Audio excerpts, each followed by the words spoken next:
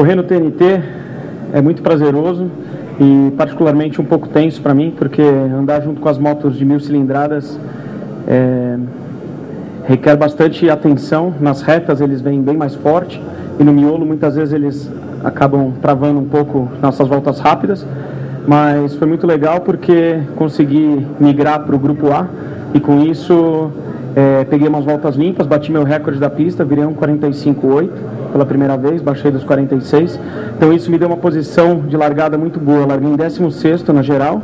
É, e nas primeiras voltas, o pessoal de mil me passou nas retas, eu tentei administrar, tudo estava caminhando bem, até que eu tomei uma pressão da Luiz Coutinho, que veio num ritmo muito forte. E a gente brigou por umas duas voltas, até que eu consegui manter a, a posição e acabei fechando com a primeira, primeira colocação. Estou é, muito feliz. É, venho, fiz esse campeonato desde o começo do ano. Acho que foi um dos pilotos que mais fez as etapas aí.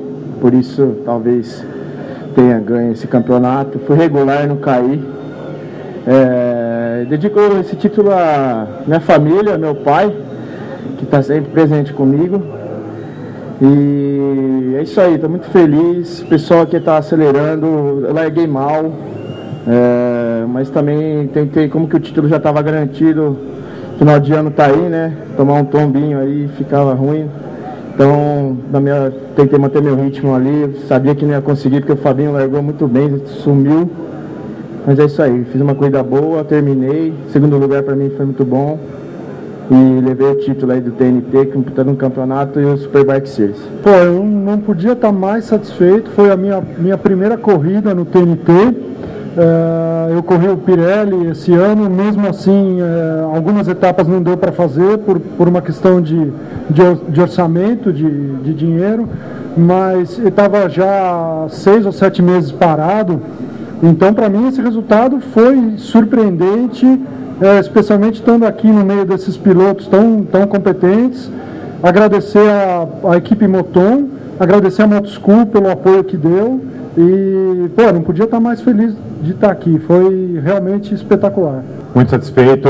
É, um calor descomunal na pista, sabe? Desgastante ao extremo nessas 17 voltas. Ainda bem que foi 10 da manhã.